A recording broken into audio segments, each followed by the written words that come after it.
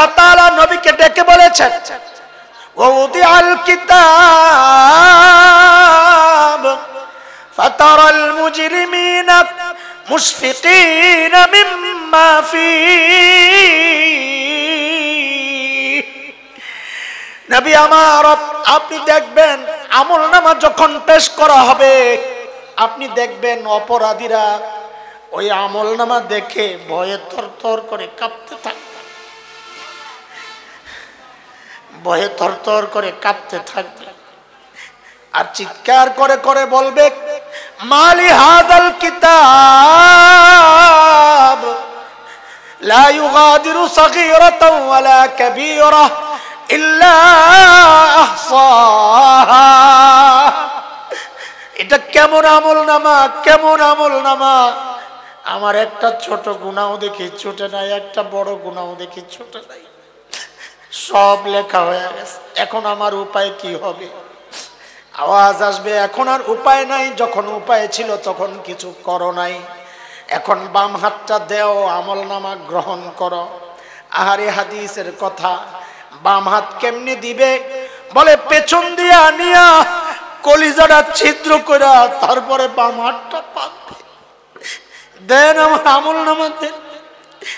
যেই না বাম হাতে আমল নামাটা রাখা হবে আর দিবে চিৎকার সুরা হাক্কার মধ্যে মালিক বলেন ও আম্মা মান উতিয়াত কিতাবাহু বিশিমালি فيقول يا ليتني لم أوت كتابيه ولم أدر ما حسابيه يا ليتها كانت القاضية মা আগনান্নি মালিয়া হালাকা আন্নি সুলতানিয়া। বাম হাতে আমল নামা পাইয়াই দিবে চিৎকার, আর বলবে আরে আমল নামা যদি আমারে না দেওয়া হইতো, আমি জানি না এখন আমার হিসাব কি হবে। মৃত্যু পর্যন্তই যদি সব শেষ হয়ে যেত তাইলে তো আজকে আর এই বিপদে পড়ি না। ও দুনিয়ার টাকাওয়ালা দুনিয়ার টাকাওয়ালা। আজকে টাকা দিয়া বিচার পাল্টাও। সেদিন চিৎকার করে করে কানতে হবে আর বলতে হবে, মা আগনানি মালিয়া, আমার মাল তো আমারে বাঁচাইতে পারতেছে না। ও দুনিয়ার ক্ষমতার দাপটওয়ালা, ক্ষমতার দাপটে বিচার পাল্টাও। সেদিন চিৎকার করে করে কানতে হবে আর বলতে হবে হালাকান্নি সুলতানিয়া, আজকে আমার ক্ষমতাও শেষ হয়ে গেছে, আমার এখন উপায় কি হবে? আওয়াজ আসবে, আওয়াজ। আল্লাহ আজাবের ফিরিস্তাদেরকে হুকুম করবেন, এখন আর কোনো সুযোগ নাই। ধর এগুলারে ধর ধর এগুলারে ধর। খুজুক ফাগুল্লু এগুলারে ধর, গলার মধ্যে বেড়ি পড়া। সুম্মাল জাহিমা, সল্লু। এগুলারে টেনে হেসে নিয়ে জাহান্নামে ফালা সুম্মা ফি সিলসিলাতিন জারুহা, সাবউনা। জিরান ফাসলুকু সত্তর গজ লম্বা শেকল দিয়ে গোড়ারে পেঁচায় পেঁচায় জাহান নামে লয়া যা। আবদুল্লাহ ইবনে আব্বাসের রিওয়ায়াতে আসছে, ওই শেকল দিয়া কেমনে পেঁচাবে? বলে শেকলের এক মাথা নাকের ছিদ্র দিয়া ঢুকায়া পায়খানার রাস্তা দিয়া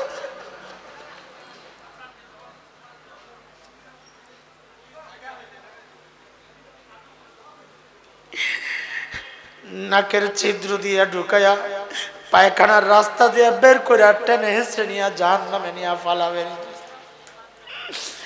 এরে আল্লাহর বান্দা জাহান নামের ওই শাস্তি সইবার ক্ষমতা যদি না থাকে গুণা ছাড়ো। গুণা ছাড়ো। আলহামদুলিল্লাহ। الحمد لله وكفى وسلام على عباده الذين اصطفى. أما بعد فأعوذ بالله من الشيطان الرجيم. بسم الله الرحمن الرحيم.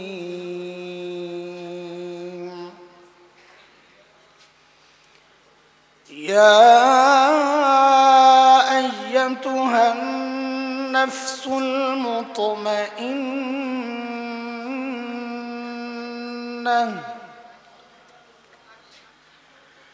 ارجعي إلى ربك راضية مرضية. فادخلي في عبادي وادخلي جنتي.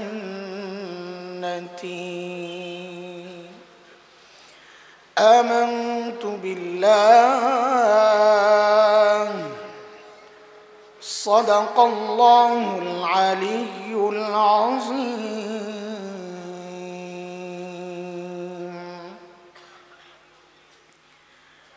জামিয়া আরবিয়া, ইসলামিয়া, দারুল কোরআন, দয়ামির মাদ্রাসা কর্তৃক আয়োজিত আজকের বার্ষিক এই ইসলামী মহাসম্মেলনের সম্মানিত সভাপতি উপস্থিত হজরত ওলামে কেরাম আজম দূর দূরান্ত থেকে আগত ইসলাম প্রিয় সুদী সমাজ, প্রিয় ছাত্র ভাইয়েরা, যুবক বন্ধুরা পর্দার আড়ালের মা ও বোন। আল্লাহ সুবহান অশেষ মেহরবানি, করুণা, দয়া যে মহান মালিক লাখো কোটি মানুষ থেকে বাছাই করে দিন ওই মজমায় আমাকে আপনাকে আসার বসার কিছু কথা বলা ও শোনার তৌফিক দান করেছে। এটা অনেক বড় নিয়ামত। কোরআন আল করিমের মধ্যে আসছে মালিক বলেন, দিন বুঝার জন্য আমি যার দিলটা খুলে দেই, দিন মানা, দিন জানা, দিন বুঝার মানসিকতা যাকে দান করি, এটা এত বড় নিয়ামত, এই নিয়ামত যে বান্দা পায়, আল্লাহ বলেন ওই বান্দা সারাক্ষণ আমার স্পেশাল নূরের আওতায় থাকে। দুর্ভাগ্য তার জন্যে যার দিল শক্ত দিন বুঝে না বুঝতে চায় না বরং কোনো কোনো পোড়া কপাল আছে উল্টা বুঝে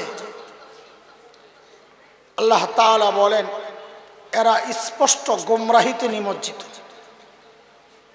সুরা জুমার আয়াত নাম্বার বাইশে রব্বি করিম এই কথাটা বলেছেন মালিক বলেন أفمن شرح الله صدره للإسلام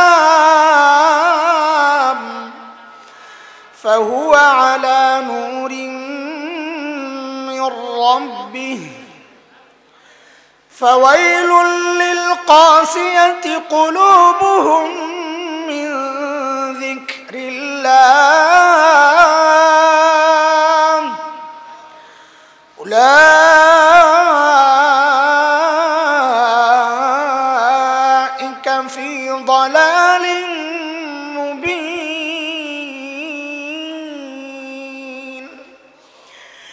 আয়াতের মধ্যে রব্বি করিম এই কথাগুলো বলেছেন, মোহতারাম হাজরিন, যে মহান মালিক এই নিয়ামতে আমাদেরকে ধন্য করলেন।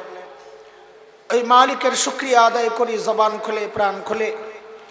কালিমাতু শুকুর উচ্চারণ করি, আলহামদুলিল্লাহ। অনেক রাত পর্যন্ত আপনারা মহাক্কিক বুজুর্গ ওলামা একরামের জবানে দামি দামি কথা শুনেছেন। আরও বড়রা আসবেন, শুনবেন। মাঝখান দিয়ে আমি ছোট মানুষ, কিছু কথা আপনাদের সামনে পেশ করতে চাই। তবে মাকসাদ নিজের হৃদায়ত। কারণ এই বিশ্বাস রেখে এখানে বসেছি, এখানে যারা আমরা আছি, সবচেয়ে বড় আসামি আমি নিজে। তো নিজেকে উদ্দেশ্য করেই কিছু কথা বলব। আপনারাও শোনেন, আশা করি আমারও ফায়দা হবে, আপনাদেরও ফায়দা হবে ইনশাআল্লাহ মোহতারাম হাজরিন, আমি সুরাতুল ফজরের শেষ চারটা আয়াত তিলাবাত করেছি। আল্লাহ তালার কাছে তৌফিক চাই। মালিক যেন এই আয়াতগুলোকে সামনে রেখে যা বলতে চাই, সেগুলো সহজে বলার তৌফিক দান করেন। প্রথম আয়াতে আল্লাহ তাআলা বলেন নাফসুল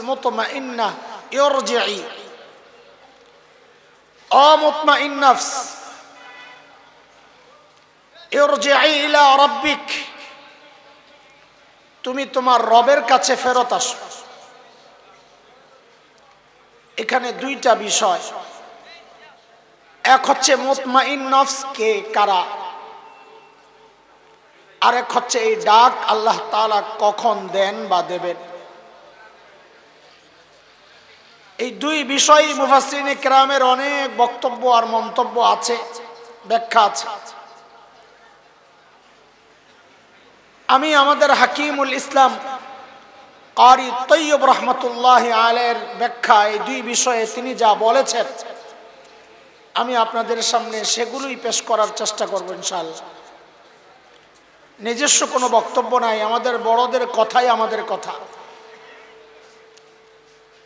হাকিমুল ইসলাম কারি তৈয়ব রহমতুল্লাহ আলাই বলেন, মোতমাইন নফস হচ্ছে ওই ব্যক্তি যে নিজের আল্লাহর ইচ্ছাকে নিজের ইচ্ছা বানায়, আল্লাহর চাওয়াকে নিজের চাওয়া বানায়, আল্লাহর পছন্দকে নিজের পছন্দ বানায়, আল্লাহর অপছন্দকে নিজের অপছন্দ বানায় অর্থাৎ আল্লাহ যা চান তা করে, আল্লাহ যা চান না তা ছাড়ে। এ হচ্ছে মুতমাইন নফস। তো এই ডাক আল্লাহ কখন দেন বা দিবেন?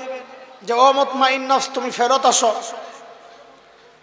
তো হাকিমুল ইসলাম কারি তৈয়ব রহমতুল্লাহ আলে একটা হাদিসের উদ্ধৃতি এনে তিনি লেখেন, বলেন যে, এই ডাকটা আল্লাহ জান্নাতি বান্দার মৃত্যুর সময়ে দিবেন জান্নাতি বান্দার যখন মৃত্যুর সময় ঘনিয়ে আসে, জীবন সায়ান্নে উপনীত হয়, তখন আল্লাহ তালা মালাকুল মৌদকে যখন পাঠান যান কবজ করার জন্যে, তো হাদিসে আসছে, মালাকুল মৌতের সাথে আল্লাহ জান্নাতের কিছু ফিরিস্তাকেও পাঠায়া দেন, যাও, আমার মেহমানকে আগায় নিয়ে আস। সমস্যা হচ্ছে, ওই ব্যক্তি জিন্দিগিতে ফেরিস্তা দেখে নাই। হঠাৎ ফেরিস্তা দেখলে যদি ভয় পাওয়া যায়, আল্লাহ তাআলা এটা চান না যে তার এই প্রিয় বান্দা জীবনের শেষ মুহূর্তে একটু আতঙ্কিত হোক, ভয় পাক, বিব্রত হোক, কষ্ট পাক, এটা আল্লাহ চান না। তো ফিরিস্তাদের আসার প্রক্রিয়াটা কি হয়? হাদিসের বক্তব্য ওই ব্যক্তি দেখতে থাকে, দূর থেকে একটা আলো চমৎকার দেখতে তার দিকে আগাচ্ছে। সে তাকায়া থাকে, কি এটা, এত সুন্দর আলো। চোখ ফেরানো যায় না। আলোটা যত কাছে আসে, তার মুগ্ধতা শুধু বাড়তে থাকে, কি এটা, এত সুন্দর। ধীরে ধীরে ধীরে ধীরে আলোটা যখন তার কাছাকাছি আসে, তখন সে বুঝে, মানুষের মতো দেখতে সুন্দর চেহারাওয়ালা কিছু লোক ফ্রিস্তারা এসে তাকে ডাকতে থাকে ডাকে কি বলে ডাকে বের হও বের হও বের হও কি বলে ডাকে হাদিস ওই শব্দগুলো আসছে নবী আলাইহিস সালাম বলেন ফিরিস্তারা এসে ডাকতে থাকেন ইয়া আইয়াতুহান নাফসুল মুতমাইন্নাহ কানাত ফিল জাসাদি الطيب اخرجي الى روح وريحان ورب غير غضبان ও মুতমাইন নফস এতদিন তো পবিত্র শরীরের ভেতরে ছিলা আজকে বের হও বের হও বলে কোথায় বের হব বলে বাগ বাগিচা জান্নাতের দিকে আর তোমার ওই রবের কাছে যে রব আজকের পর আর কোনোদিন অসন্তুষ্ট হবেন না বের হ কিন্তু সমস্যা হচ্ছে রোহের সাথে শরীরের লম্বা সময় অবস্থানের কারণে একটা মহাব্বত তৈরি হয়েছে রোহের সাথে শরীরের। এখন রো বের হতে চায় না, ছাইরা আসতে চায় না শরীরকে। এই কথাটা ফিরিস তারা আল্লাহকে জানাবেন। আল্লাহ আপনার মেহমান তো আসতে চায় না। তখন আল্লাহ তালা বলবেন, আমার মেহমানকে তার জান্নাতের বাড়িটা একটু দেখায় দাও না।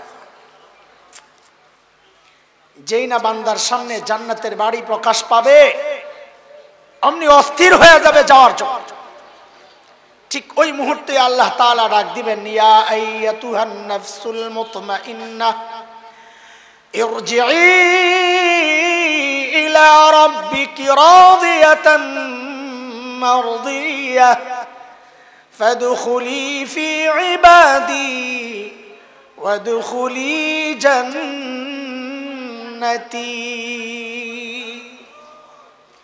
ও মুতমাইন নাফস ইরজিই খেল করেন খেল করেন। ফেরেশতারা যখন ডেকেছিলেন ফেরেশতাদের শব্দ ছিল উখরুজি বের হও। কিন্তু আল্লাহ যখন ডাকছেন, আল্লাহর শব্দ পাল্টায় গেছে। আল্লাহ বের হও বলেন না। আল্লাহ বলেন ইরজিই ফেরত আসো ফেরত আসো। বের হও।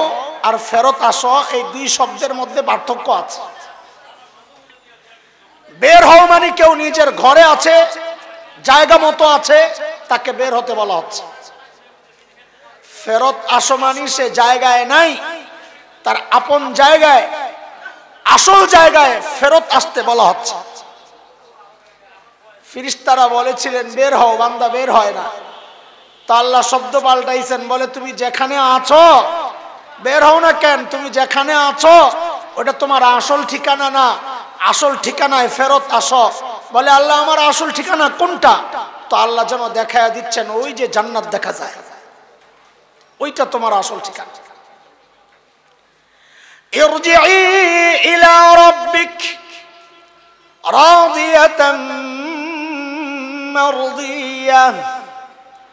দুনিয়ায় আল্লাহর সিদ্ধান্তের সামনে তুমি রাজি ছিলা। সব কিছু খুশি মনে মেনে নিয়েছ। আজকে পরীক্ষার ফলাফল ঘোষণা হচ্ছে, রব জানায়া দিচ্ছেন তুমি পাশ করেছ। আজকে রব জানায়া দিচ্ছেন রবও তোমার উপর রাজি। বলে তাইলে এখন পুরস্কার দেন। ফলাফল যেহেতু আমি পাস তো পুরস্কার দেন। তো আল্লাহ বলেন ওদখুলি জান্নাতি, তুমি আমার জান্নাতে ঢুকে যাও। কিন্তু যারা হাফেজ, যারা আলেম, তারা বুঝেছেন যে আয়াত একটা রয়ে গেছে। ফতখুলি ফি ইবাদ। আমার স্পেশাল বান্দাদের দলভুক্ত হও। একটু বুঝার জিনিস, আপনাদের মনোযোগ আছে তো না? আমার মনোযোগ নাই, আপনাদের থাকলে হয়। পিছনে একটু। আচ্ছা আচ্ছা ঠিক আছে। আল্লাহ বলছেন, আমার স্পেশাল বান্দাদের দলভুক্ত হও, তারপরে জান্নাতে যাও। কেন? আবার ওই দলের অংশ কেন হইতে হবে? ডাইরেক্ট জান্নাতে গেলে কি সমস্যা? আহা। আল্লাহ তার বান্দারে একটুও কষ্ট দিতে চান না, এই জন্য এই হুকুম বলে। এই হুকুমে কি কষ্ট আর কি সমাধান এটা বোঝা দরকার। নতুন জামাই শ্বশুর বাড়িতে কত আদর করে, তাই না? এমন একটা ভাব লইয়া কথা কন, মনে হয় শ্বশুর বাড়িতে যায় মাইর খাইছেন। হ্যাঁ? আদর পান নাই আপনারা? তো চুপচাপ যে, আমি তো দেখি না ওই লাইটের ইয়ার জন্যে, এটার জন্য। বলেন আপনারা, শ্বশুর বাড়িতে আদর করে না মারে? এটাও বলে না, হায় খোদা, কোন দুনিয়ায় আসলাম? মায়ের খেয়েছেন যাইয়া। তো কথা কর না কেন? আদর করে, তবে আসল নকল আছে। যদি যৌতুক না লয়, তো আসলটা করে, যৌতুক লইলে নকলটা করে। এই তো পার্থক্য।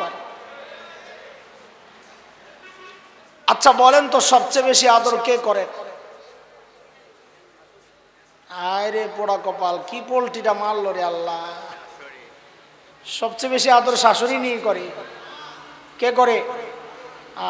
যে বলছে, মনে করছে শ্বশুর আর শাশুড়ির মধ্যে কে বেশি আদর ওই হিসাবে বলছে। সবচেয়ে বেশি আদর করেন কে? মা মা। বলেন কে? সবচেয়ে বেশি আদর দেখান শাশুড়ি। বলেন এবার ঠিক করে। সবচেয়ে বেশি আদর করেন কে? সবচেয়ে বেশি আদর দেখান কে? এই পার্থক্য যে পোড়া কপাল বুঝে না, ওই গন্ডগোল লাগায়। দেখে শাশুড়ি এত খাবারের আয়োজন করে, মা তো এত কিছু খাওয়ায় নাই। এমনে করে শাশুড়ি বুঝি আমারে বেশি আদর করে।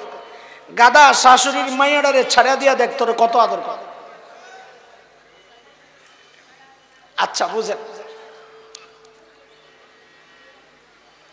এটা তো এখন আমি খুব বুঝি। আমার খুব বেশি উপলব্ধি হয় এখন এখন। মাকে হারাইয়া। আমার শাশুড়ি আমাকে অনেক আদর করে। বড় জামাই, আবার ওনারও ধনী মানুষ। আমার আবার আদর নেওয়ার পলিসিও জানা আছে ভালো। আদর নেওয়া জানা লাগে। অনেকে আদর নিতেও জানে না। তা আমাকে খুব আদর করে। তা আমি আদর খাই আর বলি, যতই আদর করে না আমার মারছে বেশি না। কেন? কারণ কি? এটা এখন খুব বুঝি। মাহফিল শেষে যখন শ্বশুর বাড়িতে যাই, যদি বাচ্চারা নানা বাড়িতে থাকে আর ঢাকাতে তো নিজের বাড়িতে যাই কি করব কেউ নাই বাসায়। তো শ্বশুর বাড়িতে চলে যাই। যায়া কি দেখি? দেখি শ্বশুর ঘুমায়, শাশুড়ি ঘুমায়, বউ ঘুমায়, বাচ্চারা ঘুমায়। আমি এতিমের মতন ঢুকি, অসহায়ের মতন যায় ঘুমায় থাকি। কিন্তু আমার মা যখন জীবিত ছিলেন যখন ঘরে ঢুকতাম, আমার বাসা নয় তলায় বাসার সামনে লম্বা রাস্তা, অনেক দূর থেকে দেখা যায় আমার বাসা থেকে রাস্তা। তো আমার গলিতে যখন গাড়িটা ঢুকতো, গভীর রাতে অথবা শেষ রাতে মাহফিল থেকে ফিরছি, তো আমারও মনের মধ্যে একটা চাওয়া, কি গলিতে গাড়ি ঢুকলে এই গ্লাসের কাছাকাছি মাথায় না, ওই উপরের দিকে তাকাইতাম, উপরের কি অবস্থা? জানালায় কেউ আছে কিনা তো প্রায় দেখতাম, জানালার পর্দা সরাইয়া গোল কইরা শুধু মুখটা দেখা যায়, অন্ধকার, লাইট নিবানো, একটা চেহারা বোঝা যায়, কেউ একজন তাকায় রয়েছে নিচের দিকে। কেউ একজন অপেক্ষা করতেছে।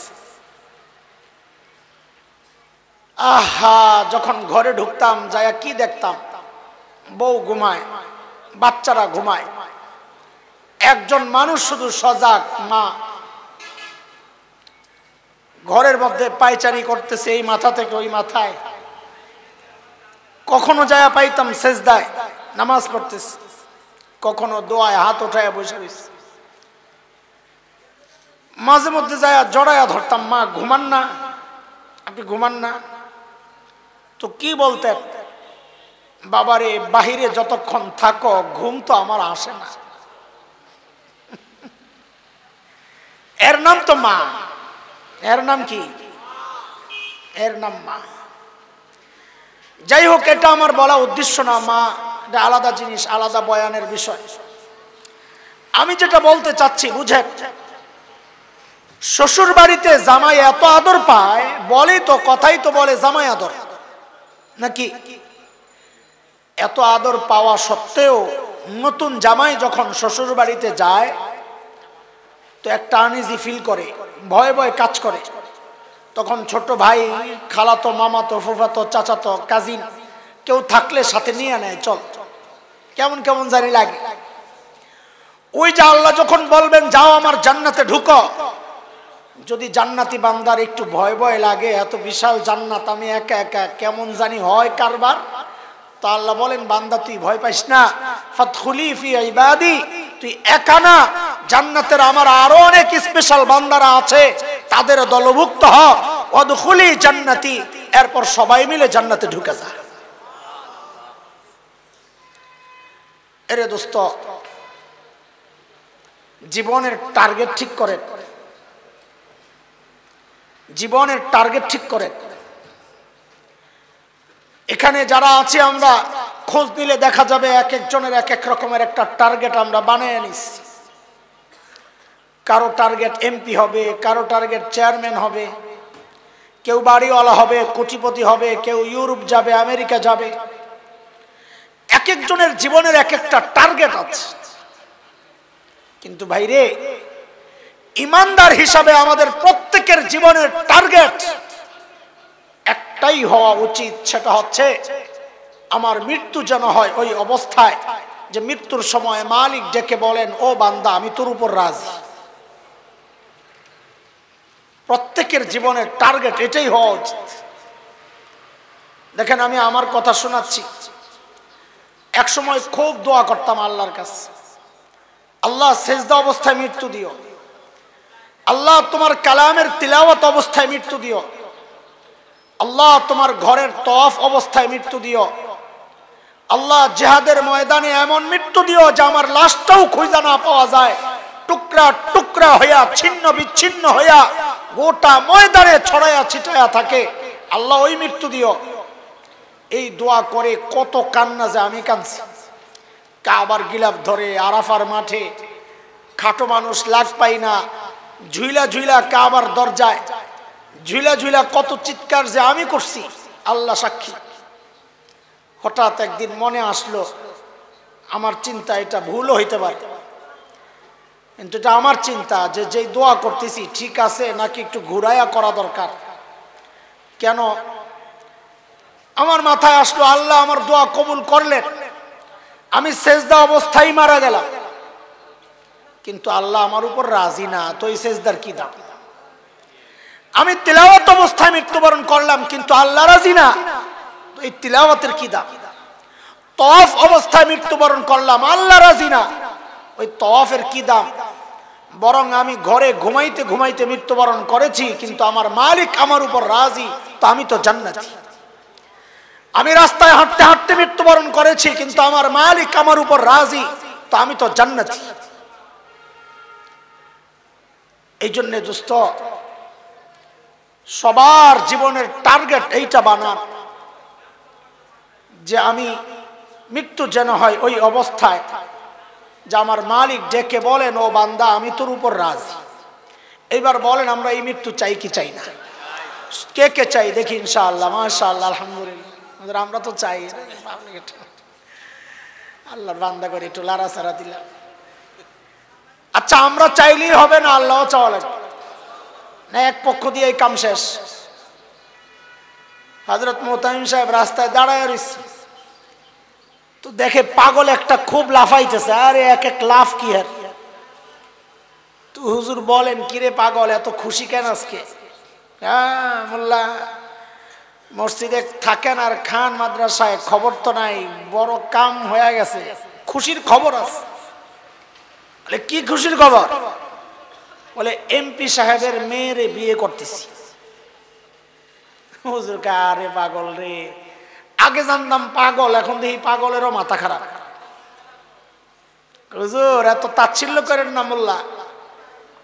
কাজ অর্ধেক আগায় গেছে মার্শাল্লাহ পাগলে কি বলে, কাজ অর্ধেক আগায় গেছে, এমপি সাহেবের মাইয়ারে বিয়ে করবে, কাজ অর্ধেক আগায় গেছে। তো হুজুরকে দেখি পাগলে কি বলে। তো বলে, কি অর্ধেক আগাইছ হ্যাঁ? বলে, হুজুর, আমি তো রাজি। কি? কথা বুঝেন নাই। আমি? বিয়ে করতে কয়জনের রাজি লাগে? তো হ্যাঁ রাজি, কাজ অর্ধেক আগায় গেছে না? এই জন্য খুশি, কাজ অর্ধেক আগায় গেছে। কাজ অর্ধেক আগাইছে না, আসলটা রয়ে গেছে। আমরা তো রাজি, আল্লাহ যেন ডেকে বলেন। হ্যাঁ আমরা তো চাই, সবাই হাত তুললেন। আল্লাহ চাওয়া লাগবে না। আমরা চাইলেই হবে না আল্লাহ চাইতে। হবে তো আল্লাহ কি এমনি চাইবেন না কিছু করতে হবে? কথা বলে না। আপনারা ভাতটাত খান নাই আজকে? যাইয়া খাইবেন। আমার সাথে কথা বলেন কথা বলেন। আল্লাহ কি এমনি চাইবে না কিছু করতে হবে? শোনেন শোনেন। উড়া দুরা কথাবার্তা আমরা বলতে পারব না। এক লাইনে আগা গোড়া কথা বলব, যা দিয়া শুরু করছি কথা, তা দিয়েই শেষ করব ইনশাল্লাহ পুরা কথাটা মুখস্থ করে এখান থেকে যাওয়া লাগবে। ফাও ফাও বসে থেকে গজল শোনা আর কিস্সা কাহিনী শোনানোর জন্য আপনাদেরকে এখানে বসি নাই। এখান থেকে কিছু নেওয়া লাগবে, কথা বুঝেন নাই? না, মজা পাইতে আসছে। বিনোদন বিনোদন। ওয়াজ মাহফিল তখন বিনোদনের একটা মাধ্যম হয়ে গেছে, উপলক্ষ হয়ে গেছে। বয়া বয়া গজল শোনো, গান শোনো, কৌতুক শোনো, হিন্দি সিনেমার গান, আরে আল্লাহ। আহা। পুরা পড়া মুখস্থ করে এখান থেকে যাব। ইনশাল্লাহ বলে। আমি মাঝে মধ্যে পড়া জিজ্ঞেস করব। বিশেষ করে জুয়ান জান যেগুলো আছে, পোলাপাইন, গুড়াগাড়া। বিশেষ করে মাদ্রাসার ছাত্র যদি নজরে পড়ে, তুই সাবধান হয়ে যা।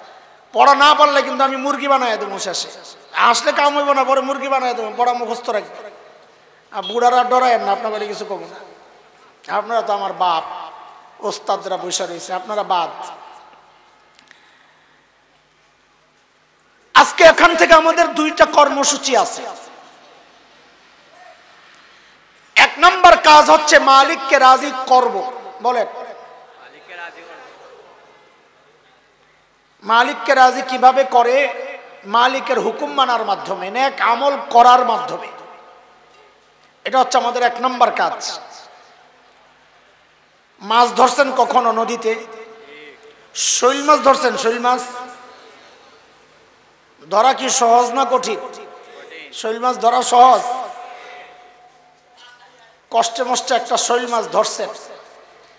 পানির নিচে শৈল মাছের কানের ভিতর দিয়া আঙ্গুল ঢুকাইয়া দিয়া টাইট করে ধরছেন। উপরের দিকে নিয়ে আইতেছেন। শৈল মাছ ধরা যত কঠিন, পানির উপরে উঠাইয়া ব্যাগে ঢুকানো তার চেয়ে বেশি কঠিন। কোন রকম উপরে উঠাইয়া ব্যাগে ঢুকাইবেন, পা গেছে একটা পিছলাইয়া, হাত গেছে একটা ছুইটা, শৈল মাছ কয়, সালাম, আমি গেলাম লাভ দিয়ে পানিতে। আচ্ছা এবার বলেন, বুঝ মতো মাছটা না পাইলে আপনার যে আফসুস লাগতো। পাওয়ার পর যে ছুটে গেছে, এখন আফসুস বেশি না কম। ও দোস্ত, আল্লাহকে রাজি করলেন কিন্তু রাখতে পারলেন না, ছুটে গেছে। এটা আমাদের জন্য আরও বেশি হতাশা। এই জন্য আমাদের প্রথম কাজ হচ্ছে মালিককে রাজি করব, বলেন। দুই নম্বর কাজ হচ্ছে মালিককে রাজি রাখব। মালিককে রাজি বলেন আবার। এক নম্বর কাজ। বলেন সবাই। আয় খোদা আপনারা এনে আছেন। আপনারা আমার পিছন দিক দিয়ে দেখতেছেন না? আচ্ছা দেখালাম দেখালাম। বারবার তাকাইতে পারুন না দেখছেন? আহারে মানুষগুলো পিছন থেকে শুনতেছে বয়ান আমি তো খেয়াল করি রে এক নম্বর মালিককে রাজি দুই নম্বর মালিককে রাজি রাখব। যেহেতু আপনাদের সময় কম, আমার কম আর কি, আপনাদের না, আপনাদের কান্দে চাপাইতে চাই না, আমাদেরই সময় কম। তো এই জন্য আজকের বয়ানকে আরও অর্ধেক বানাইতেছি, অর্ধেক। মালিককে রাজি কীভাবে করব এই বয়ান? এই আলোচনা বাদ। এই আলোচনা খুব হয়, বেশি হয় এটাই। নেক আমলের মাধ্যমে, নামাজ, রোজা, হজ জাকাত এগুলোর মাধ্যমে মালিককে রাজি করব। এটা বাদ দুই নম্বর, এটা হচ্ছে আলোচনার বিষয়। মালিককে রাজি করব। বলে মালিককে রাজি কীভাবে রাখব? মালিককে রাজি রাখব। এটা হচ্ছে আলোচনার বিষয়। বলে মালিককে রাজি কীভাবে রাখব? গুণা ছেড়ে দেওয়ার মাধ্যমে। গুণা করলে মালিক নারাজ হন। আমরা গুণা ছেড়ে দিয়ে মালিককে রাজি রাখব। মনে থাকবে ইনশাল্লাহ আমাদের বিশেষ করে যুবারা, খুব বেশি এসে এসে আমাদের কাছে বলেন, আমরাও আমাদের বড়দের কাছে বলি যে গুণা তো ছাড়তে চাই কিন্তু ছাড়তে পারি না। গুণা ছাড়তে চাই, ছাড়তে পারি না। এই অভিযোগ অনেক পুরাতন। তো আমাদের বড়রা কোরআন, হাদিস ঘেটে ঘেটে গুণা ছাড়ার কিছু সহজ রাস্তা বের করেছেন যে তুমি এইভাবে এইভাবে চলো এই চিন্তা লালন করো, তো গুণা ছাড়া তোমার জন্য সহজ হয়ে যাবে। এতক্ষণ যা আলোচনা করেছি, এটা হচ্ছে আলোচ্য বিষয় ঠিক করার জন্য। এখনও আলোচ্য বিষয় ঠিক করি নাই, বলি নাই। এতক্ষণ বুঝায়া এতক্ষণে আলোচ্য বিষয় ঠিক করলাম। এইবার শুনেন আজকের আলোচনার বিষয়বস্তু গুণা ছাড়ার সহজ রাস্তা। আজকের আলোচনার বিষয় কি বলেন তো? আবার বলেন আবার বলেন, আমি এক, দুই, তিন, চার এভাবে বলব, আবার জিজ্ঞেস করব এক নম্বর, কিসের এক নম্বর? তো বলতে হবে গুণা ছাড়ার এক নম্বর সহজ রাস্তা। মনে থাকবে ইনশাল্লাহ পিছনের পড়া আবার মুখস্থ শোনান। গুণা কেন ছাড়বো? মালিককে রাজি রাখব। মালিককে কেন রাজি রাখব? যেন মৃত্যুর সময় মালিক ডেকে বলেন, ও বান্দা, আমি তোর উপর রাজি। গোড়া মনে থাকবে তো ইনশাল্লাহ আমরা আবারও আসব ইনশাল্লাহ বারবার মনে করাই দিব ইনশাল্লাহ এক নাম্বার, বলেন, কিসের এক নাম্বার? হ্যাঁ বলো না, জোয়ান পোলাবেন বলো তোমরা। গুণা ছাড়ার সহজ রাস্তা। আচ্ছা বলেন, এই যে এখানে বসে আছেন, গুণা করতেছেন। গুণা যে ছাড়ছেন, কষ্ট লাগে? বলেন না বলেন না। বুঝা গেল, এখানেও কোনো কারণ আছে। যেই কারণের কারণে গুণা তো ছাড়ছে, কিন্তু কষ্ট লাগে না। কিছু একটা আছে। নাহলে গুণা ছাড়লাম, কষ্ট লাগে না যে। নিশ্চয় এখানেও কিছু একটা কারণ আছে। কি সেই কারণ? আলহামদুলিল্লাহ, আমাদের বড়রা সেই কারণে বের করে দিছে। কারণ হচ্ছে, নেককাররা একসাথে যখন থাকে, তখন গুণা ছেড়ে দেওয়া সহজ হয়। বুঝে আসছে কথা? এই জন্য দোস্ত, আমাদের বড়রা বারবার এই বিষয়ে তাগিদ দেন, তুমি যত বড় মানুষ হও না কেন, তুমি যত বড় আলেম হও না কেন, ডাক্তার, ইঞ্জিনিয়ার হও না কেন, একজন আল্লাহওয়ালার সাথে সম্পর্ক গড়, একজন হক্কানি পীর বুজুর্গের সাথে সম্পর্ক গড়। তাইলে আশা করা যায় গুণা ছেড়ে দেওয়া তোমার জন্য সহজ হয়ে যাবে। আমি একটা উদাহরণ দেই, তাইলে খুব বুঝবেন ইনশাল্লাহ না বুঝার কিছু নাই। একটু বুঝে শুনে বলেন। এই যে আমার মাথার টুপিটা, এটা আল্লাহওয়ালা না আল্লাহওয়ালার পোশাক? বুঝে আল্লাহওয়ালা জিকির করে। বলেন এটা আল্লাহওয়ালা না আল্লাহওয়ালার পোশাক? আমার গায়ের লম্বা জামা, জুব্বা, এটা আল্লাহওয়ালা না আল্লাহওয়ালার পোশাক? ওই যে আমার ভাই পাগড়ি বানছে একজন, তাকানো দরকার। হেদে তাকাই দিছে এই পাগড়িটা আল্লাহওয়ালা না আল্লাহওয়ালার পোশাক? এইবার বলেন। কোন আল্লাহর বান্দারে দেখছেননি, লম্বা জুব্বা গাও দিয়া সুন্দর করে পাগড়ি টাগড়ি বাইন্দা সিনেমা হলে ঢুকতেছে? কেন? ঢুকে না কেন? পোশাকে তারে আটকায় দিছে পোশাক তারে আটকায় দিছে এই পোশাক পরে সিনেমা হলে ঢোকা যাবে না। মানুষ কি বলবে গাদা? খেয়াল করেন খেয়াল করেন, বুঝার জিনিস। আল্লাহওয়ালার পোশাকের সাথে আমি যুক্ত হলাম। আল্লাহওয়ালার পোশাকের সাথে খালি লাগলাম। তাতেই গুনাহ করা আমার জন্য কঠিন হয়ে গেল। তো আল্লাহওয়ালার কাছে আসলে তো গুনাহ করা অসম্ভব হয়ে যাবে। বুঝে আসছে কথা? বুঝতেছেন কথা? তো এক নাম্বার কি বললাম? আল্লাহওয়ালার সোহবত। বলেন। গুণা যদি ছাড়তে চান আপনি, তো সহজ রাস্তা হচ্ছে আল্লাহওয়ালাদের সাথে সম্পর্ক করেন দুষ্ট বন্ধু যেগুলা যেগুলা দিন মানে না, শরিয়া মানে না আলে মোলামা দেখতে পারে না। আপনার দলের লোক, আপনি ওই দলও ছাড়েন, ওই লোকও ছাড়েন। আলেমদের কাছে আসে আল্লাহ আলাদের সাথে সম্পর্ক করেন গুণা ছাড়া সহজ হয়ে যাবে, ইনশাআল্লাহ। দুই নাম্বার, এই কিসের দুই নাম্বার? মাশা আল্লাহ ছাত্র ভালো আছে, আর মুরগি বানাইতে হইব না, বোঝা গেছে। গুণা ছাড়ার অদস্ত, যত বিপদ দেখবেন, যত বিপদ। হুচট খায়া পড়ছে। আপনি মনে করবেন এটা আমার গুনার ফসল। ব্যবসা মন্দা ঋণে বসছে আপনি ভাববেন এটা আমার গুনার ফসল হ্যাঁ। শুধুমাত্র গুনার কারণেই যে বিপদ আসে, ব্যাপারটা তা না। কখনো কখনো বিপদ আল্লাহ নেককার বান্দাকে পরীক্ষার জন্যও দেন। কিন্তু আমি সেটা মনে করব না। কেন জানেন? আমি যদি মনে করি যে আমারে আল্লাহ বিপদ দিছে পরীক্ষার জন্যে, তো আমার ভেতরে একটা ভাব আসতে পারে যে আমি মনে হয় কিছু একটা হয়ে গেছি, আল্লাহ আমারে পরীক্ষা করতেছে। ওটা হোক হইল আমি এটা ভাববো না। আমি ভাববো এটা আমার গুনার ফসল।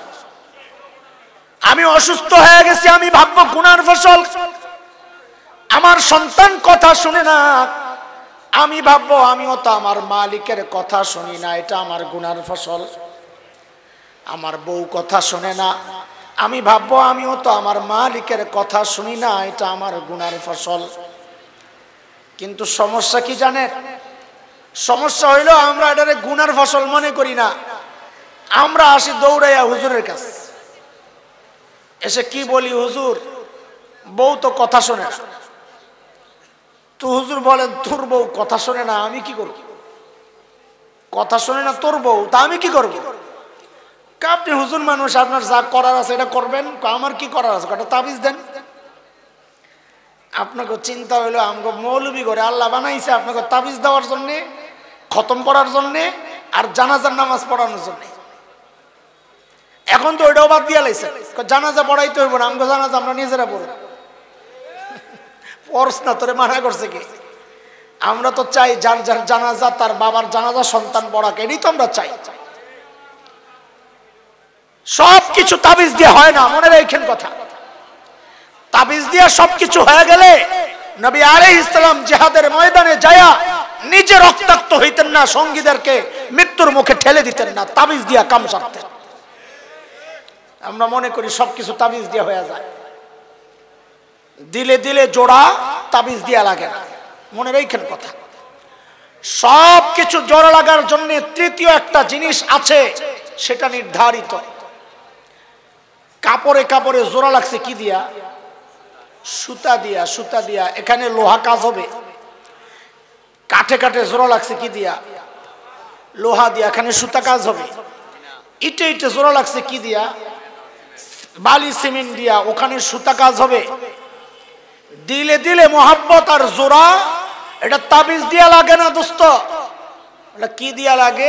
আমরা কি বলব? দিল যে আল্লাহ বানাইছেন, ওই আল্লাহকে জিজ্ঞেস করো। তো আল্লাহকে জিজ্ঞেস করছি আল্লাহ জানায়া দিছেন দিলে দিলে মোহাব্বত কি দিয়া হয় মালিক বলেন সুরা মারিয়ামের মধ্যে إن الذين آمنوا وعملوا الصالحات سيجعل لهم الرحمن ودا আল্লাহ বলেন তোর ইমান ঠিক কর আমল ঠিক কর দিলে দিলে মোহাব্বত আমি আল্লাহ তৈরি করে দিব খেইপা গেছে। যেই না হুজুর এই ওয়াজ করছে, এখন রাগ হয়ে গেছে। হুজুর, আপনারা বড় খারাপ, সব কিছুতে খালি ধর্মের এটাই না এমন বাবলি আসেনি দুনিয়ায়। এরা মনে করে ধর্ম খালি মসজিদের কাম। সংসদে ধর্ম চলবে না। বাজারে ব্যবসায় ধর্ম চলবে না। সচিবালয়ে ধর্ম চলবে না। সব জায়গার থেকে ধর্ম বিদায় করে মসজিদে নিয়ে ঠেকাইছে, করোনা আইছে তো মসজিদ বন্ধ করে দিছে সব শেষ। দেখছেন কার? হ্যাঁ দোস্ত, ধর্ম সব জায়গার জন্যই। এই কোরআন আল্লাহ মসজিদে শুধু তেলাওয়াতের জন্য পাঠান নাই, এই কোরআন সংসদে আইন পাস করার জন্য আল্লাহ পাঠাইছেন।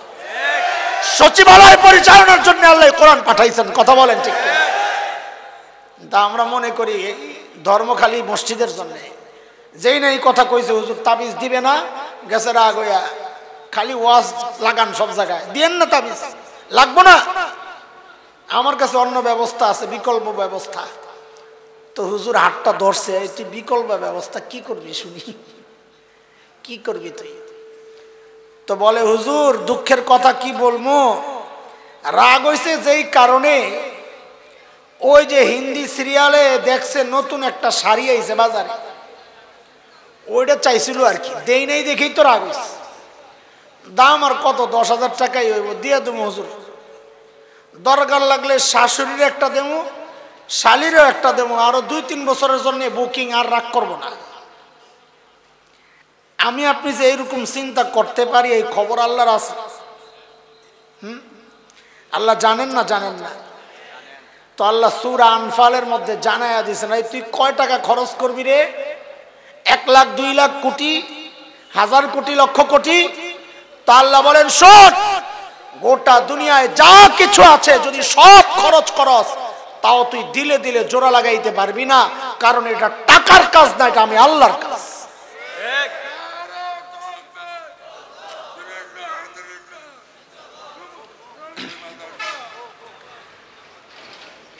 আল্লাহ সুবহান বলে ও বাইনা কুলুবিহিম لو أنفقت ما في الأرض جميعا ما ألفت بين قلوبهم ولكن الله ألف بينهم إنه عزيز حكيم আল্লাহ বলেন দিলে দিলে জোড়া গোটা দুনিয়া যা আছে সব খরচ করল, তুই লাগাইতে পারবি না। কেন? এটা টাকার কাজ না, এটা আমি আল্লাহর কাজ। কাজেই দোস্ত যত বিপদ দেখব, ভাববো কিসের ফসল? বলেন না? যখন এই অনুভূতি দিলের মধ্যে বসে যাবে, যে গুণা করলে বিপদ হয়, তখন দেখবেন গুণা ছেড়ে দেওয়া সহজ হয়ে যাবে বুঝে আসছে এই পর্যন্ত যা বলছি? বলেন এক নাম্বার। এক নাম্বার কি? আরে গুণা ছাড়ার সহজ রাস্তা এক নাম্বারটা কি বলছি? আল্লাহ ওয়ালাদের সহবত। বলেন আল্লাহ ওয়ালাদের আলেমদের কাছে আসবেন ঘন ঘন গুণা ছাড়া সহজ হবে ইনশাআল্লাহ। দুই নাম্বার, যত বিপদ দেখব, ভাববো কিসের ফসল, তখন গুণা ছেড়ে দেওয়া সহজ হয়ে যাবে। ওই চিন্তাটা যদি দিলের মধ্যে বসানো যায়। এইবার বুঝেন একটু ভালো করে। তিন নাম্বার, বলেন, কিসের তিন নাম্বার? এ যুবক ভাইয়েরা আমার, বন্ধুরা, কলিজার টুকরা, সন্তানেরা, আমি কারও ভাইয়ের বয়সী, কারও বাবার বয়সী। মুরব্বীরাও শোনেন, এই সামনের দুইটা একটু বেশি মনোযোগ দিয়ে শোনেন। আর দুইটা বলতে পারব, বেশি বলার সময় নাই আমাদের। গুণা ছাড়ার তিন নাম্বার সহজ রাস্তা। মানুষ যখন গুণা করে, তিনটা, চারটা বিষয় তাকে উৎসাহিত করে। গুণা করতে। ওই চারটা বিষয় সামনে আসলেই সে গুণা করতে উৎসাহিত হয়। এক হচ্ছে সে যখন একা হয়, একা। একাকিত্ব অবস্থায় গুণা করতে উৎসাহিত হয়। এই চারটা বিষয়, প্রতিটা বিষয়ের জবাব আল্লাহ দিয়েছেন। একা একা হইলে গুণা করতে চায় আল্লাহ, জবাব দেন, বান্দা, তুই একা না। অহুয়া মা আকু মাইনা কুন্তুম। তুই যেখানেই থাকস না কেন, আল্লাহ তোর সাথে আছে। দুই নাম্বার, যে কারণে মানুষ গুণা করতে উৎসাহিত হয়, সে ভাবে, আমি যে গুণা করতেছি, কেউ জানে না। কেউ আল্লাহ জবাব দিচ্ছেন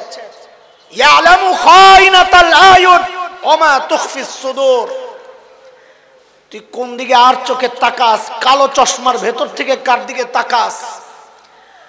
বাহিরের গুণা তো দূরের কথা, ভেতরে ভেতরে। কি কি বাজে পরিকল্পনা করস? আমি আল্লাহ সব জানি। তিন নাম্বার গুণা করতে মানুষকে উৎসাহিত করে, সে ভাবে আমাকে কেউ দেখে না। আমাকে কেউ আল্লাহ জবাব দিচ্ছেন সে জানে না আল্লাহ তার দিকে তাকায় আছে। বলে, তাকায়া থাকলে অনেক সময় দৃষ্টি থাকে এক জায়গায়, মনোযোগ থাকে আরেক জায়গায়, এমন হয় কি হয় না?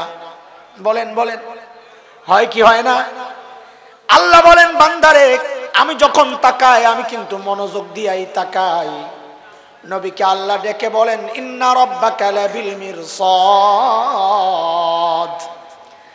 নবী আমার মিরসাদ বলা হয় আরবিতে। শিকারী যখন শিকার ধরতে যায়, চূড়ান্ত সতর্কতার সাথে এসে কদম ফেলে, নিঃশ্বাস ফেলে। ওই অবস্থাটাকে আরবিতে বলে মিরসাদ। আল্লাহ বলেন, ইন্না রব্বাকা লাবিল মিরসাদ। নবী আমার, আপনার রব কিন্তু খালি তাকায়া রয় নাই। আপনার রব কিন্তু ওত পাইতা রয়েছে যে কোনো মুহূর্তে খাপ করে ধরতে পারে। চার নম্বর যে বিষয়টা মানুষকে গুণা করতে উৎসাহিত করে, সেটা হচ্ছে বেপরোয়া ভাব। কি হবে আমার গুণা করলে? কে কি বলবে? আল্লাহ জবাব দিচ্ছেন, ইন্না আখজাহু আলিমুন শাদীদ। আমার ধরা কিন্তু বড় যন্ত্রণাদায়ক ধরা রে বান্দা। ইন্না বাদশা রাব্বিকালা শাদীদ। আমার ধরা কিন্তু অনেক কঠিন ধরা।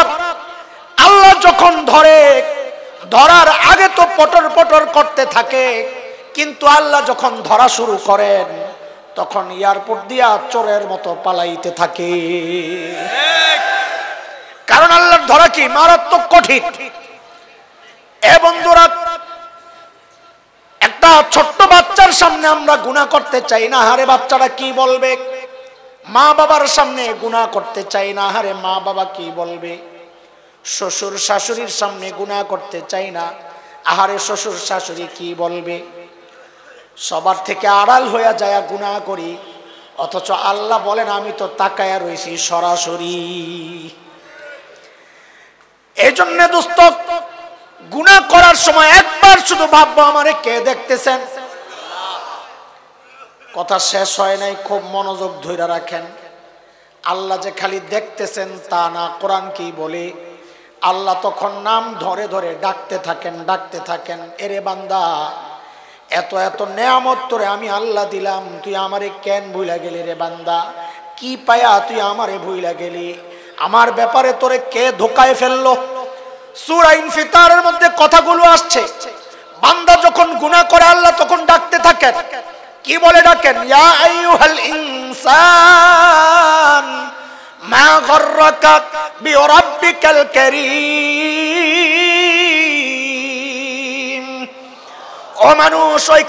রবের ব্যাপারে তোমারে কে ধোকায় ফেলল রে বান্দা?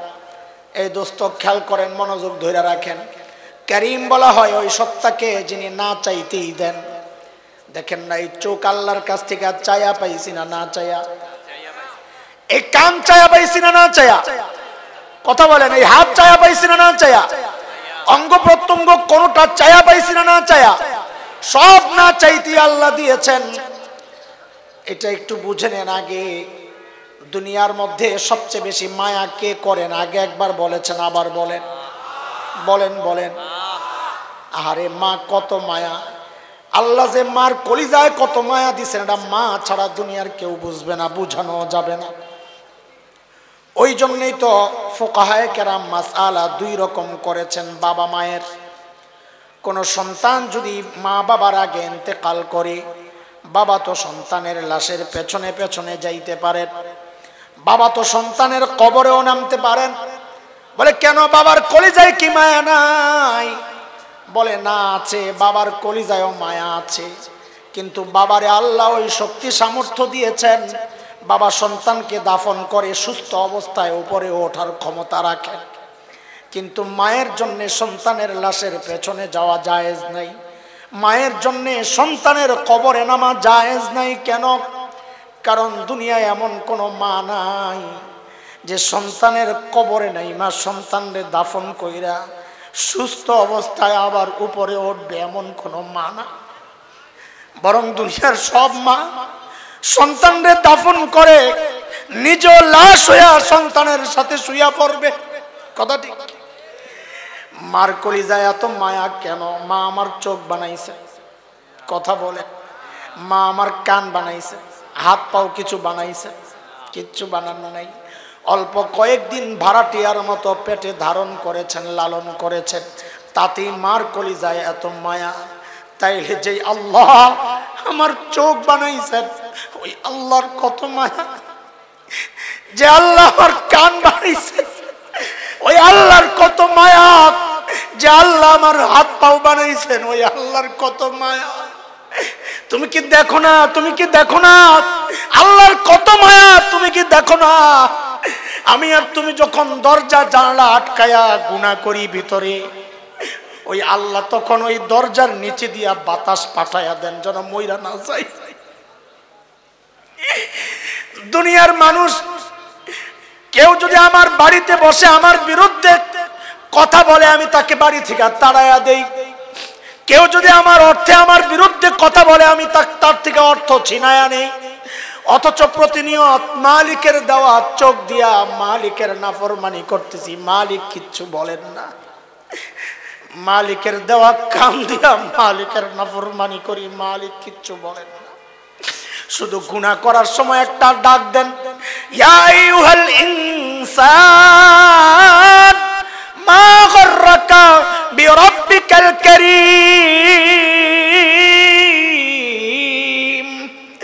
ওরে মানুষ, ওই করিম রবের ব্যাপারে তোর কে রে ধোকায় ফেলল? এরে আমার বান্দা যে চোখ দিয়ে তুই গান দেখতেছস, ওই চোখ তো ওই নায়ক নায়িকা তোরে দেয় নাই। আমি আল্লাহ তোরে দিয়েছিলাম রে বান্দা, যেই চোখ দিয়ে তুই খেলা দেখতেছস ওই চোখ তো ওই খেলোয়াড়েরা দেয় নাই, আমি আল্লাহ দিয়েছিলাম।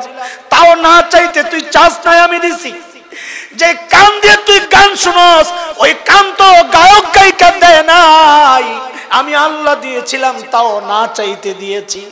যেই জবান দিয়ে তুই আমার বিরুদ্ধে কথা বলস, নেতার পক্ষে কথা বলস, ওই জিব্বা, ওই জবান তোর নেতা দেয় নাই, আমি আল্লাহ তোরে দিয়েছিলাম।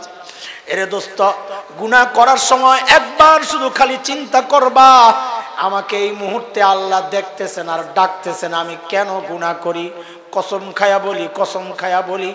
এই অনুভূতি দিলের মধ্যে জায়গা দিতে পারলে ইনশা আল্লাহ গুণা ছেড়ে দেওয়া আমাদের জন্য সহজ হয়ে যাবে। কথা বুঝতেছেন আপনারা? এক নাম্বার গুণা ছাড়ার সহজ রাস্তা কি বলেন? বলেন বলেন বলেন। আল্লাহওয়ালা দুই নাম্বার, যত বিপদ দেখব, ভাববো কিসের ফসল? তিন নাম্বার গুণা করার সময় ভাববো আমারে কে দেখতেছেন আর কি করতেছেন? ডাকতেছেন, আমি কেন গুণাটা করি? মনে থাকবে ইনশাল্লাহ চার নাম্বার, খুব মনোযোগ দিয়া শোনেন কথাগুলা।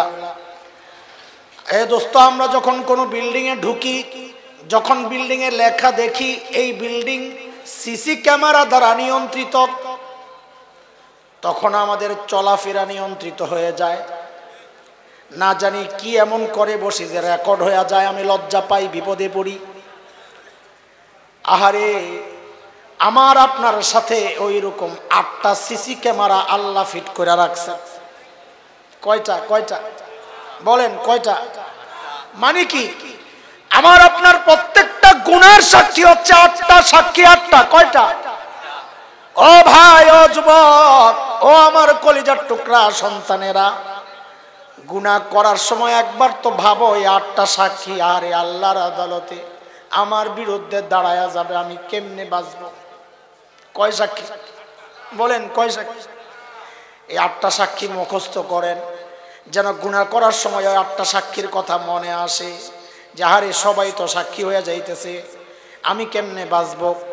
এক নাম্বার সাক্ষী, যেই জায়গায় দাঁড়ায়া গুণা করব, যেই জমিনে দাঁড়ায়া গুণা করি, ওই জমিন আল্লাহর আদালতে সাক্ষী দিবে গুলা আমার কথা না, একটাও সব কোরআনের কথা।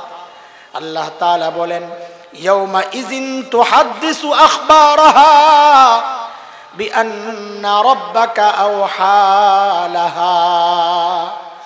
জমিন কথা বলবে আল্লাহ। আমি সাক্ষী, আমি দেখছি, সব জানি। আপনার এই বান্দাই গুণাটা করছে আমার উপর, দাঁড়ায়া দাঁড়ায়া। এর যুবক ভাই গুণা যদি করতে মনে চায়, আল্লাহর জমিন ছাইরা দূরে যায় গুণা করো যেন জমিন টের না পায়। সম্ভব? সম্ভব এটা? এই জন্য তো আল্লাহ বলেছেন ইয়ামা সরল জিন্নি ওয়াল ইনস, ইন ইসতাতাতুম আন তানফুযু মিন আকতারিস সামাওয়াতি ওয়াল আরদ ফানফুযু লা তানফুযুনা ইল্লা বিসুলতান فبأي آلاء ربكما تكذبان ও মানুষ ও জিন যদি সক্ষমতা থাকে তো আল্লাহর এই আসমান জমিনের পরিধির মাঝখান থেকে তুমি বাইর হয়ে যাও আল্লাহ বলেন তুই পারবি না পারবি না যেহেতু আল্লাহর জমিন থেকে, আল্লাহর ক্ষমতা থেকে বের হতে পারব না, তাইলে আল্লাহর নাফরমানি করাও চলবে না। এরে দোস্ত গুণা করার সময় একবার ভাবি, কে সাক্ষী হচ্ছে? বলেন বলেন, কে সাক্ষী? বলে, আমি অস্বীকার করব, আল্লাহ, এই গুণা আমি করি নাই। জমিন মিথ্যা কথা বলে। জমিন মিথ্যা বলে, আল্লাহ, এই গুণা আমি করি নাই। আল্লাহ যেন জানায় দিচ্ছেন, বান্দারে সেই বলার সুযোগ আমি তরে দেব না। কেন? তোর জবান আমি বন্ধ করে দিব।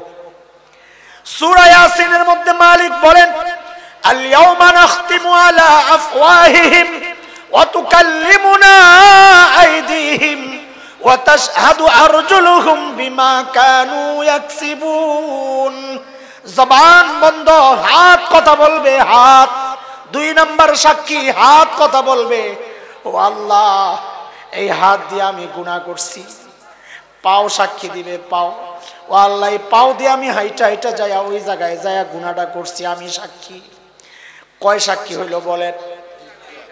এক নাম্বার, জমিন, দুই নাম্বার, তিন নাম্বার মাশাল্লাহ বলে অনেক রাস্তায় ফকির দেখা যায়, হাত নাই, কাটা, পাও কাটা, গড়ায়া গড়ায়া ভিক্ষা করে, আছে কি নাই দেখছেন? বলে, তাইলে তো সে বাইচা যাবে, হাত সাক্ষী দিতে পারবে না, পাও সাক্ষী দিতে পারবে না। আল্লাহ বলেন, না, বাঁচার কোনো উপায় নাই, আরও তো পাঁচ সাক্ষী রয়ে গেছে। চার নম্বর সাক্ষী, কান সাক্ষী দিবে কান, চক্ষু সাক্ষী দিবে চোখ, চামড়া সাক্ষী দিবে চামড়া।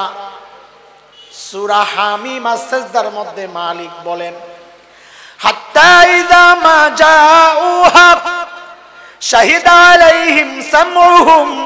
ওয়া বিমা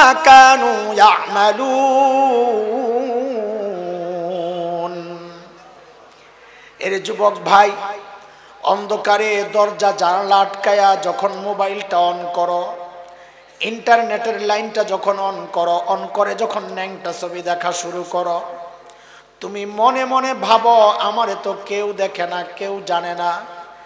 আল্লাহ তখন ডেকে ডেকে বলেন, বান্দারে, দুনিয়ার কারও জানার দরকার নাই, কারও জানার দরকার নাই। যেই চোখ দিয়া তুই গুনাহ করতেছস, ওই চোখ আমার আদালতে তোর বিরুদ্ধে সাক্ষী দিবে। এরা দোস্ত, হেডফোন লাগায়া কানের ভেতরে হেডফোন লাগায়া গান শুনো। আর ভাবো, দুনিয়ার কেউ তো জানে না, কেউ জানে না। আল্লাহ বলেন, বান্দারে, কারও জানার দরকার নাই, কারও জানার দরকার নাই। যে কান দিয়া তুই গুনাহ করতেছস, ওই কান আমার আদালতে তোর বিরুদ্ধে সাক্ষী দিবে রে বান্দা। কয়েক চোখ কান নষ্ট, তাইলে কি হবে? আল্লাহ বলেন, বাঁচার উপায় নাই, তোর চামড়া সাক্ষী দিবে, চামড়া চামড়া সাক্ষী দিবে। বলে, চামড়া আবার কেমনে সাক্ষী দিবে?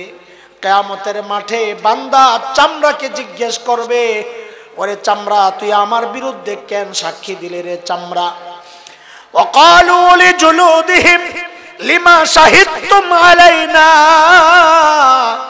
قالوا أنطقنا الله الذي أنطق كل شيء চামড়া বলবে আমার কি দোষ যে আল্লাহ তোমাকে কথা বলার ক্ষমতা দিয়েছেন ওই আল্লাহ আমাকেও কথা বলার ক্ষমতা দিয়া তোমার বিরুদ্ধে সাক্ষী দেওয়ার হুকুম করেছেন, আমি করব কি? আয় হায় হায় এরে ভাই আমার গুণা যদি করতে মনে চায়, একটু সাবধানে কইর, এই সাক্ষীগুলা যেন টের না পায়। এক নাম্বার সাক্ষী কি বলো? দুই নাম্বার সাক্ষী। তিন নাম্বার।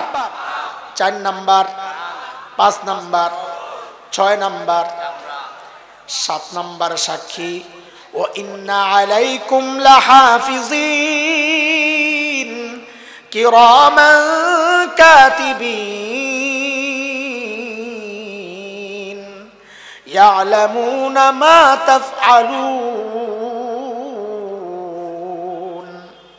আমাদের সাথে সম্মানিত লেখকগণ আছেন ফেরিস্তারা। ওই ফেরিস্তারাও দাঁড়ায় যাবে, আল্লাহ সব জানি আপনার এই বান্দার খবর, সব জানা আছে আল্লাহ। ফিরিস্তারাও আল্লাহর আদালতে সাক্ষী দিবে, সাত নাম্বার সাক্ষী। কিন্তু বন্ধুরা আমার, আসল সাক্ষী তো এখনও রয়ে গেছে, আসল সাক্ষী এখনও বলা হয় নাই। বলে আসল সাক্ষী আবার কোনটা? বলে প্রত্যেকের আমল নামা আসল সাক্ষী। বলে এটাকে আসল সাক্ষী কেন বললেন? কারণ আল্লাহ সব সাক্ষীগুলো বলার সময় আল্লাহর বলার ঢং ছিল একরকম। যেই সাক্ষী আমল নামার ব্যাপারটা আল্লাহর বলার ঢং পাল্টায়া গেছে। বলে, কি পাল্টাইছে? বলে, তুমি সুরা কাহাফ খুলে দেখো। আল্লাহ তাআলা নবীকে ডেকে বলেছেন ওদিআল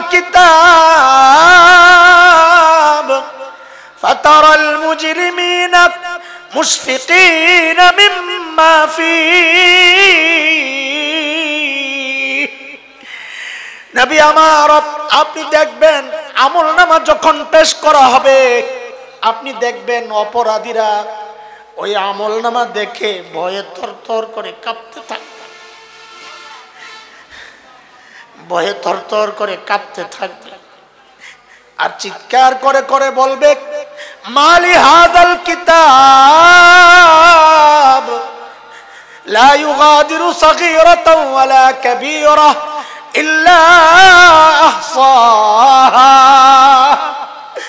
এটা কেমন আমল নামা, কেমন আমল নামা। আমার একটা ছোট গুণাও দেখি, ছুটে নাই, একটা বড় গুণাও দেখি, ছুটে নাই। সব লেখা হয়ে গেছে। এখন আমার উপায় কি হবে? আওয়াজ আসবে, এখন আর উপায় নাই। যখন উপায় ছিল, তখন কিছু করো নাই। এখন বাম হাতটা দেও, আমল নামা গ্রহণ করো। আহারে হাদিসের কথা বাম হাত কেমনি দিবে? বলে, পেছন দিয়ে আনিয়া কলিজাটা ছিদ্র করে তারপরে বাম হাতটা পাকবে দেন আমার আমল নামাতে যেই না বাম হাতে আমল নামাটা রাখা হবে আর দিবে চিৎকার। সুরা হাক্কার মধ্যে মালিক বলে, ও আম্মা মান উতিয়াত কিতাবাহু বিশিমালিহি فيقول يا ليتني لم أوت كتابية ولم أدر ما حسابية. يا ليتها كانت القاضية. ما أغنى عني مالية. هلك عني سلطانية. বাম হাতে আমল নামা পাইয়াই দিবে চিৎকার। আর বলবে আরে আমল নামা যদি আমারে না দেওয়া হইতো, আমি জানি না এখন আমার হিসাব কি হবে। মৃত্যু পর্যন্তই যদি হিসাব শেষ হয়ে যেত, তাইলে তো আজকে আর এই বিপদে পড়ি না। ও দুনিয়ার টাকাওয়ালা দুনিয়ার টাকাওয়ালা। আজকে টাকা দিয়া বিচার পাল্টাও। সেদিন চিৎকার করে করে কানতে হবে আর বলতে হবে, মা মালিয়া, আমার মাল তো আমারে বাঁচাইতে পারতেছে না। ও ক্ষমতার দাপট বলা ক্ষমতার দাপটে বিচার পাল্টাও। সেদিন চিৎকার করে করে কানতে হবে আর বলতে হবে হালাকা আন্নি সুলতানিয়া, আজকে আমার ক্ষমতাও শেষ হয়ে গেছে, আমার এখন উপায় কি হবে? আওয়াজ আসবে, আওয়াজ। আল্লাহ আজাবের ফিরিস্তাদেরকে হুকুম করবেন, এখন আর কোনো সুযোগ নাই। ধর এগুলারে, ধর ধর এগুলারে, ধর। খুজুক ফাগুল্লু। এগুলারে গলার মধ্যে পড়া। সুম্মাল জাহিমা, সল্লু। এগুলারে টেনে হেসে নিয়ে জাহান্নামে ফালা সুম্মা ফি সিলসিলাতিন জারুহা জিরান ফাসলুকু। সত্তর গজ লম্বা শেকল দিয়ে এগুলারে পেঁচায় পেঁচায় জাহান নামে লইয়া যা। আবদুল্লাহ ইবনে আব্বাসের রিওয়ায়াতে আসছে, ওই শেকল দিয়া কেমনে পেঁচাবে? বলে, শেকলের এক মাথা নাকের ছিদ্র দিয়া ঢুকায়া পায়খানার রাস্তা দিয়া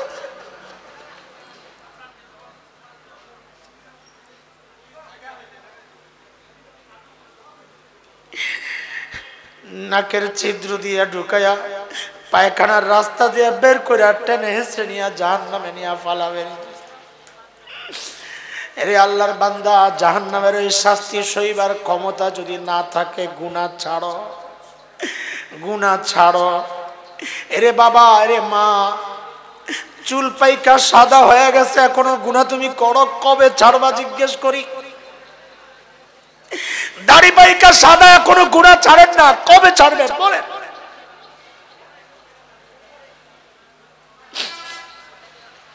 এরে যুবক, তুমি ভাইব না, তুমি অনেক পরে মারা যাবা। মৃত্যুর তো কোনো সিরিয়াল নাই রে বাবা। কে জানে এই মজলিসও এমন মানুষ আছে, যার কাফনের কাপড় দোকানে চলে আসছে, তার খবর নাই। এজন্য বলি রে যুবক, ভাই, আয় আমার কাছে আয়, তোর পাওগুলা রাখ আমার সামনে। আমি তোর পাওগুলার মধ্যে হাতটা দিয়া তারপরে বলি, ভাই, তুই গুণা ছাড় গুণা ছাড় গুনাহ ছাড়। রে ভাই গুনাহ করলে মালিক নারাজ হয়ে যাবেন মালিক নারাজ হয়ে গেলে আমার দুনিয়াও বরবাদ, আমার আখেরাতও বরবাদ রে ভাই মহতারাম হাজরিন আজকের এই মজলিস থেকে দুইটা প্রতিজ্ঞা করে যাই আমার সাথে বলেন ইনশাল্লাহ এক নাম্বার, গুনাহ করব না ইনশাল্লাহ বলেন। বলেন সবাই চিল্লায় ইনশাল্লাহ গুনাহ করব না ইনশাআল্লাহ বলেন। গুনাহ করব না ইনশাল্লাহ গুণা আমাদের দ্বারা হইয়া যাইতেই পারে। কারণ আমরা তো নবী না, আমরা ফেরিস্তাও না, আমরা সাধারণ মানুষ। গুণা আমাদের দ্বারা হইয়া যাইতেই পারে। যত বড় মানুষ হোক তার দ্বারা ভুল হইয়া যাইতেই পারে। দুই নম্বর ওয়াদা করেন গুণা হইয়া গেলে গুণা রাখব না ইনশাল্লাহ বলেন বলেন। কয়টা ওয়াদা করলাম, কয়টা? বলেন, কয়টা? এক নম্বর গুণা করব না, বলেন। দুই নম্বর গুণা হয়ে গেলে রাখব না ইনশাল্লাহ বলেন না ইনশাল্লাহ গুণা রাখব না, বলেন গুণা গুণা এক নম্বর গুণা করব না, বলেন গুণা হয়ে গেলে গুণা রাখব না। কেন? মালিককে রাজি রাখব, বলেন। গুণা ছাড়ার জন্য ছয়টা সহজ রাস্তা বাতাইছি, এক নম্বর, বলেন। পড়াটা মুখস্থ শোনায় দেন আমার, এক নম্বর। আল্লাহওয়ালাদের সোহবত কার সাথে? আল্লাহওয়ালাদের সাথে চলবো। দুই নম্বর, যত বিপদ দেখব, ভাববো কিসের ফসল? গুনার ফসল। তিন নম্বর, গুনাহ করার সময় ভাববো আমাকে কে দেখতেছেন? তিনি দেখতেছেন আর আমাকে ডাকতেছেন, দেখতেছেন আর আর ডাকতেছেন। চার নাম্বার গুনাহ করার সময় ভাববো, আমার প্রত্যেকটা গুনার জন্য কয়টা সাক্ষী হচ্ছে? কয়টা কয়টা? আটটা, এক নাম্বার। জমিন, দুই নাম্বার। তিন নাম্বার। চার নাম্বার। পাঁচ নাম্বার। ছয় নাম্বার। সাত নাম্বার। ফিরিস্তা ফিরিস্তা, বলেন কারা? ফিরিস্তা। আট নাম্বার, আমল নামা, বলেন আট নাম্বার। আটটা সাক্ষী আমার সাথে দাঁড়ায় আছে, তখন গুণা ছাড়া সহজ হবে। আমাদের ওয়াদা দুইটা গুণা করব না গুণা কেন? মালিককে রাজি করার জন্য না, রাখার জন্য? বলেন, মালিককে রাজি রাখব, মালিককে রাজি কেন রাখব? যেন মৃত্যুর সময় মালিক ডেকে বলেন ইয়া আইয়াতুহান নাফসুল মুতমাইন্নাহ ارجعي إلى ربك راضية مرضية فادخلي في عبادي وادخلي جنتي যেন মৃত্যুর সময় মালিক ডেকে বলেন বান্দা দুনিয়ায় তুই আমার সিদ্ধান্তে রাজি ছিলি আজকে আমি আল্লাহ জানাইয়া দিচ্ছি, আমিও তোর উপর রাজি, যা আমার অন্যান্য আবরার নেককার বান্দাদের দলভুক্ত হয়ে সবাই মিলে জান্নাতে চলে যান চাই নাই মৃত্যু সবাই, ইনশাআল্লাহ। আরে চাই তো ইনশাআল্লাহ। চাইলে গুণা ছাড়বো ইনশাআল্লাহ তাআলা। আল্লাহ তাআলা আমাদের সকলের জীবনকে গুণামুক্ত বানায়া দেন। অতীতে যত গুণা করেছি, আল্লাহ মাফ করে দেন। ভবিষ্যতেও গুণামুক্ত থাকার তৌফিক আল্লাহ তাআলা দান করেন। আমি অসুস্থ, আমি দোয়া চাই। আমিও আপনাদের জন্য দোয়া করি। আল্লাহ আমাদের সবাইকে দিনের উপরে ইস্তেকামাত দান করেন। আমিন। ও আখরুদাওয়ানা দাওয়ানা রবিল আলামিন।